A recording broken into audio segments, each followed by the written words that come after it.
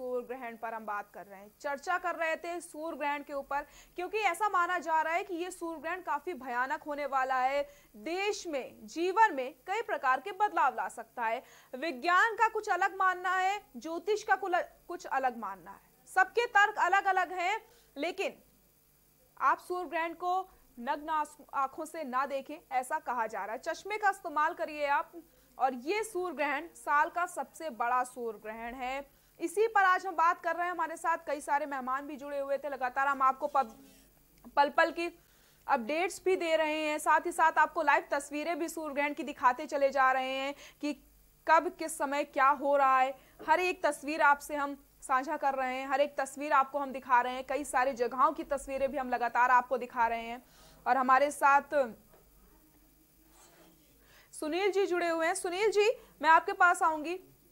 जिस तरीके से ये सूर्य ये सूर्य ग्रहण जो पड़ रहा है, इसको लेकर आप और क्या कुछ जानकारी देना चाहते हैं?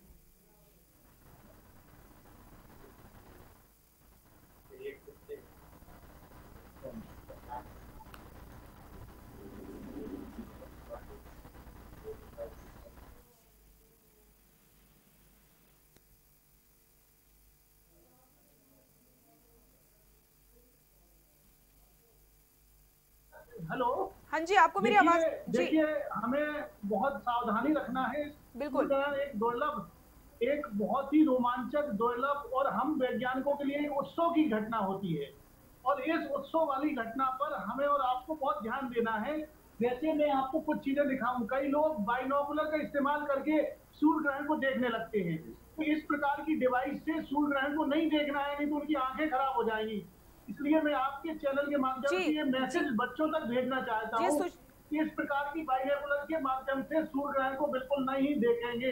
तो आप इन चीज़ का जी तो आप इन चीज़ का विशेष ध्यान रखिए जो हम आपको बता रहे हैं वरना आपकी आँखों की रोशनी जा सकती है।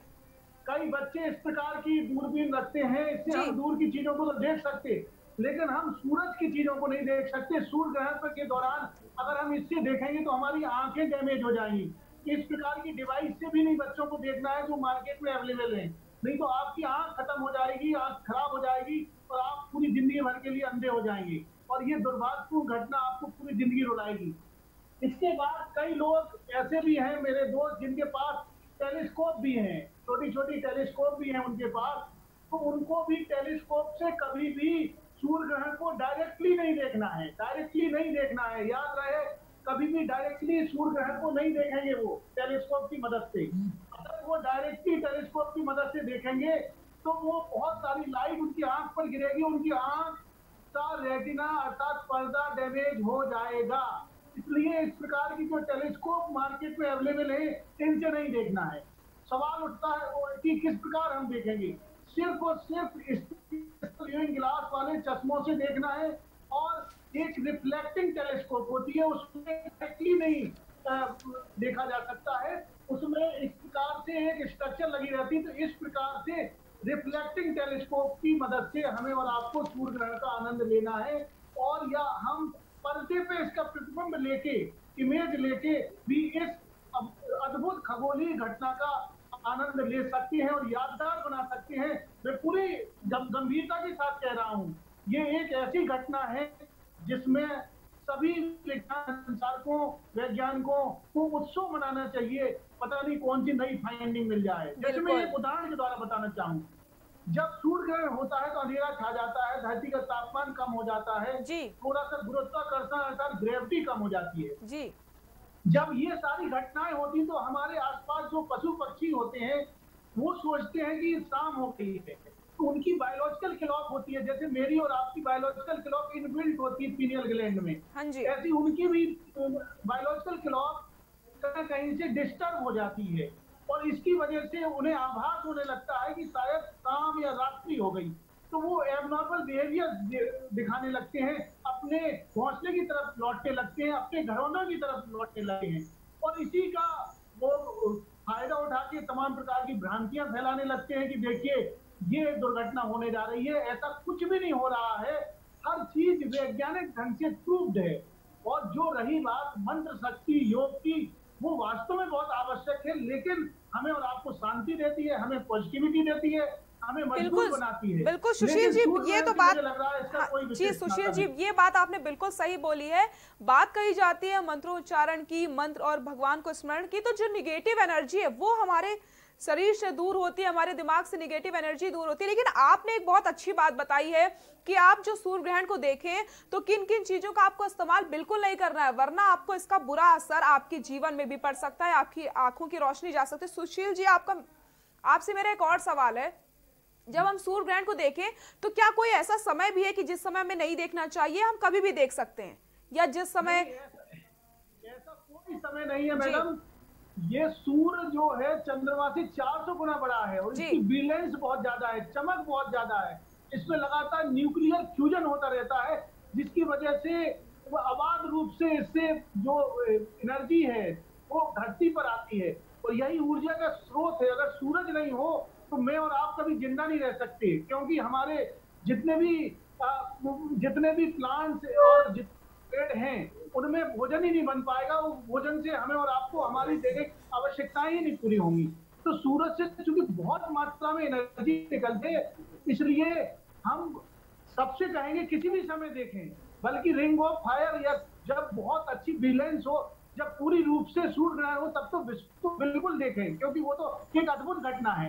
लेकिन प्रॉपर प्रोटेक्शन लेके देखें। जी ये बात बड़ी जी। ज़िंदगी में रिस्क न लें हाँ जी सुशील जी। रहें आँखों को बचाएँ और विज्ञान की इस दुर्लभ घटना का आनंद लें। जी सुशील जी ये बात आपने बिल्कुल सही कही है कि इस अलौकिक घटना का आनंद लेना चाहिए। अगर आप सूर्य ग्रहण को देख रहे हैं तो किन किन विशेष बातों का आपको ध्यान रखना ये सुशील जी ने हमें बताया है।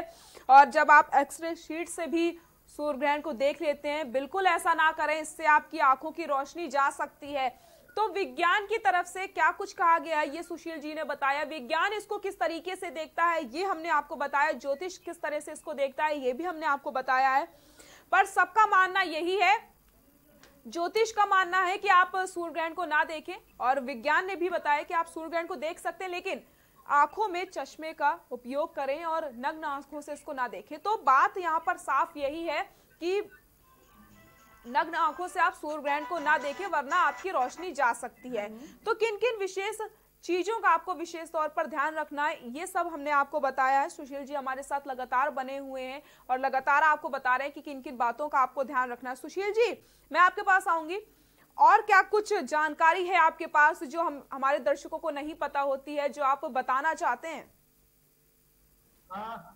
देखिए जो सूर्य ग्रहण के दौरान ज्योतिष जो कि एक अलग ही विज्ञान है तो वो उनका अपना अलग ढंग से कैलकुलेशन होता है। बिल्कुल। लेकिन लेकिन अब मैं उन लोगों को बताना चाहता हूँ कि हर चीज़ में देखिए, हर चीज़ का उत्तर विज्ञान में है तो हमें वैज्ञानिक दृष्टिकोण को अपनाना है।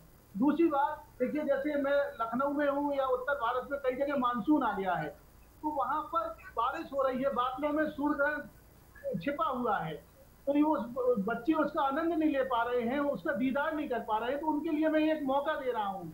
वो इसी समय जाए और भारत सरकार के द्वारा डीएसटी जो डिपार्टमेंट ऑफ़ साइंस टेक्नोलॉजी है, उनके द्वारा एक एरीज एक वेबसाइट है आर्भट प्रेक्षण एवं शोध संस्थान। ये नोट कर लें, उसकी वेबसाइट पे जाएँ और इसका लाइव टेलीकास्ट को देखें। जो लोग बारिश बारिश और बादल के कारण इस अलौकिक घटना से महरूम है भारत सरकार के आर्भट प्रेक्षण एवं विज्ञान संस्थान एरीज वेबसाइट पे जा सकते इसके अलावा वो नासा नासा की, नासा का एक, नासा ट्रैकर एक वेबसाइट है, उस पर जाके इसको वो लाइव देख सकते हैं। वो लोग भी इसकी लाइव टेलीकास्टिंग कर रहे हैं। इसके अलावा कुछ प्राइवेट यूट्यूब चैनल भी इसकी लाइव टेलीकास्टिंग कर रहे हैं। जैसे वर्चुअल टेलीस्कोप करके एक प्राइवेट चैनल है, वो भी कर रहा है।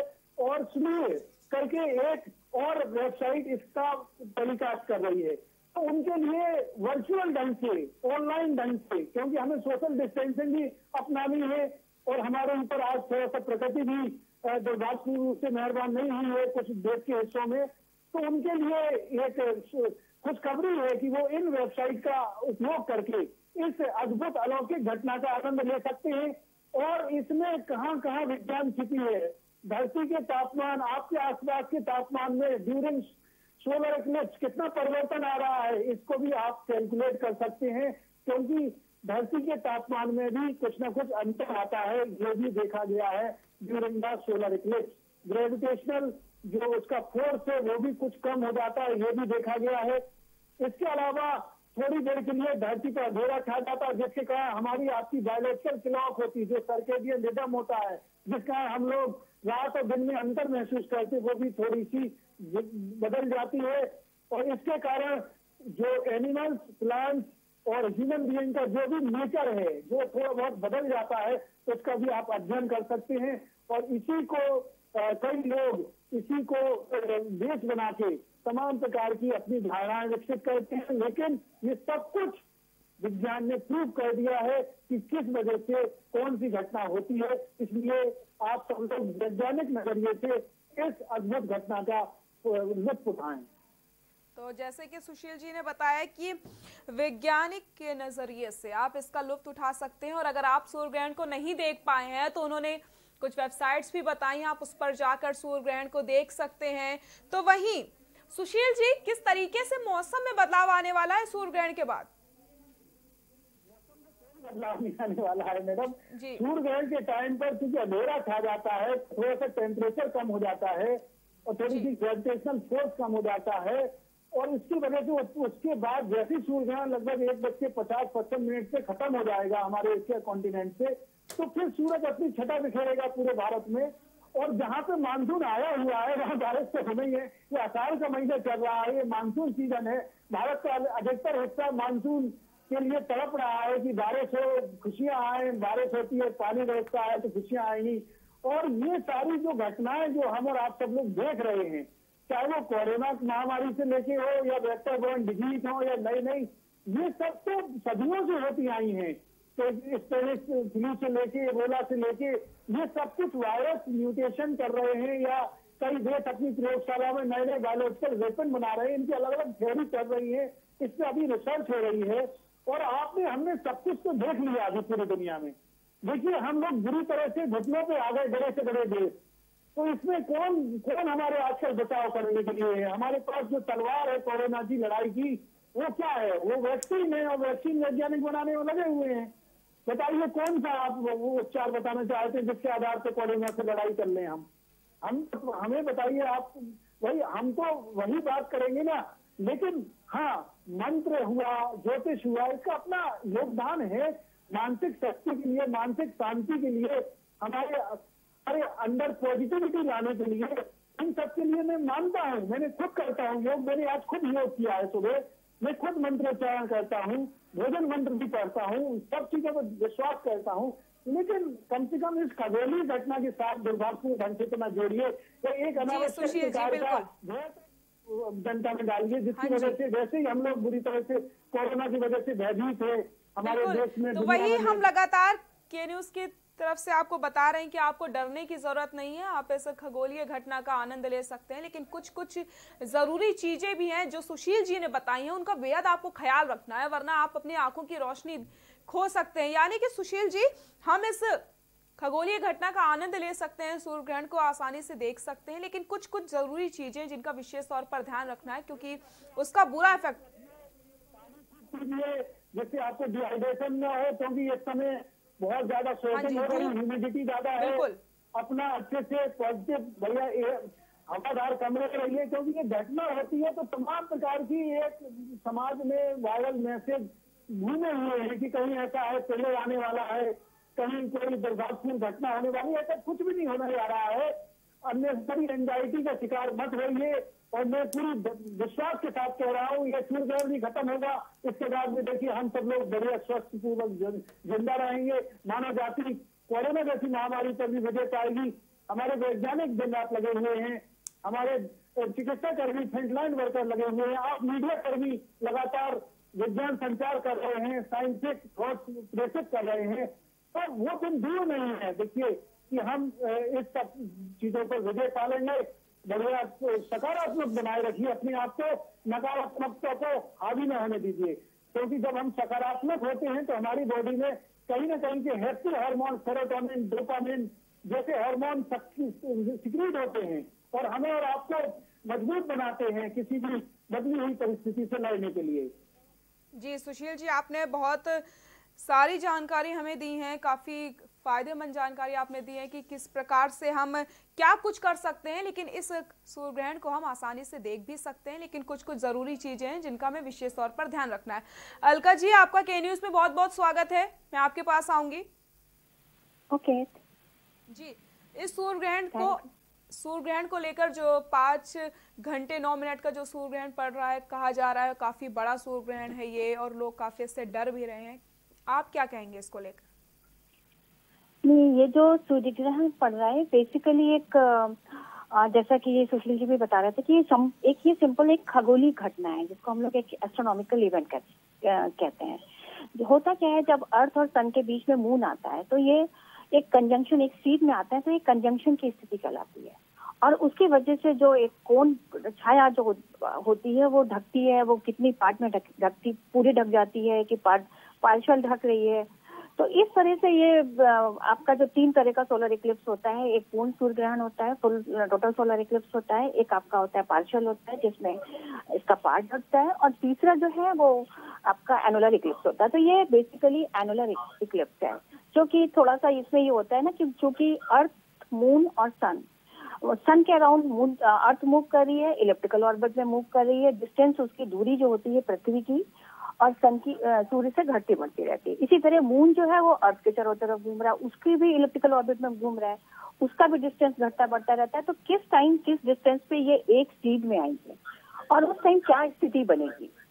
तो उस स्थितियों पर डिपेंड करता है कि हमारा किस तरह का सूर्य ग्रहण होगा। तो ये सिंपल एक खगोली घटना है। इससे ऐसा कोई डरने की ज़रूरत नहीं। इस तरह की इवेंट होती रहती तो जैसे कि अलका जी ने बताया, सुशील जी ने बताया कि ये खगोलीय घटना है, आपको इससे डरने की ज़रूरत नहीं लगातार हम भी बता रहे हैं कि विज्ञान के नज़रिए से लोग अलग तर्क रखते हैं, ज्योतिष के नज़रिए से लोग अलग तर्क रखते हैं, लेकिन कहीं ना कहीं आपको इससे डरने की ज़रूरत नहीं है और आप इसको देख भी सकते हैं आसानी से, लेकिन कुछ चीज़ें हैं जो आपको बेहद ध्यान में रखनी है, जिससे आपको परेशानी ना हो और आपकी आँखों की रोशनी ना जाए। हम दिव्य दिव्य जीवन जी आपके पास आएँगे। विज्ञान के नज़रिए से आपने सुना सुशील जी ने बताया अलका जी ने बताया। आप अब क्या कहेंगे? वास्तव में यदि देखें तो हमारे समस्त जीवन का कर्णधार सूर्य है। हाँ जी। सूर्य की ऊर्जा के बिना हमारा जीवन संभावित नहीं हो सकता। बिल्कुल। हम कुछ क्षण भी सूर्य की ऊर्जा के बिना जीवित नहीं रह सकते। इसलिए सूर्य जो है बहुत ही अनिवार्य दशा है हमारे जीवन के लिए। और उस पर किसी प्रकार का भी यदि संकट आता है, छाया प्रति, छाया ग्रहण आदि की परिस्थिति पैदा होती है तो कहीं ना कहीं से वो धार्मिक रूप से तो निश्चित है। इसके साथ ही वैज्ञानिक रूप से भी कहीं ना कहीं वो प्रभावित करेगी, इसमें कोई भी दो राय नहीं। हम ये निश्चित रूप से कह सकते हैं कि सूर्य के बिना जिस प्रकार से हमारा जीवन संभव नहीं है, और सूर्य ग्रहण के समय चूँकि सूर्य से हमारी कहीं ना कहीं दूरी बनती है, कहीं ना कहीं वो सूर्य किरणों से जो प्रदूषण दूर होता है वो नहीं हो सकता है, और वो जो छाया पड़ रही है उससे कहीं ना कहीं प्रदूषण हमारे जीवन में आएगा। तो हमारे जो पूर्व आध्यात्मिक धार्मिक लोग हैं। उन्होंने बहुत ही अच्छी सचेतता हमको दी है कि हम इस समय एकांतवास करें। किसी भी प्रकार से इसकी छाया में आने का प्रयास न करें। वो हमारे लिए ही सुंदर होगा, हमारे लिए ही बचाव होगा। इसमें कोई संदेह नहीं जी तो जैसे कि दिव्य जीवन जी ने बताया कि ज्योतिष के नज़रिए से वो कैसे देखते हैं? दिव्य जीवन जी, अगर बात की जाए सावधानी की, आपने जैसे कि सुना, सुशील जी ने भी कई सारी सावधानियाँ बताई कि हमें किन किन चीज़ों का विशेष तौर पर ध्यान रखना चाहिए। अलका जी ने भी बताया कि किन किन चीज़ों का विशेष तौर पर ध्यान रखना चाहिए। दिव्य जीवन जी, आपको क्या लगता है, क्या कुछ चीज़ों का हमें विशेष तौर पर ध्यान रखना चाहिए, क्या कुछ नहीं करना चाहिए?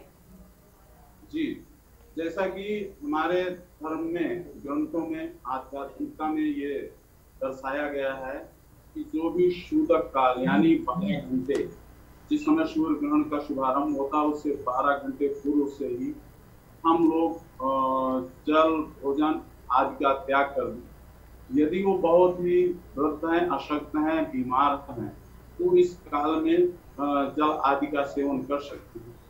अन्यथा जो समर्थ व्यक्ति हैं, वो निश्चित रूप से सारे भोजन आदि, जल आदि का त्याग कर दें। और इसके साथ ही हम इस काल में जो है मुंडन आदि कार्यों को नहीं करें, जहाँ तक संभव हो शौच क्रिया का भी परित्याग करें और इस काल में जितना हो सके, जितना संभव हो सके, उतना एकांतवास करें। और जैसा कि बहुत से लोगों में कुतूहल होता है, सूर्य दर्शन करने का, ग्रहण दर्शन करने का तो वो तो प्राचीन लोगों ने बताया है कि थाली में जल रख करके भी हम दर्शन कर सकते हैं चश्मा लगा करके भी दर्शन कर सकते हैं।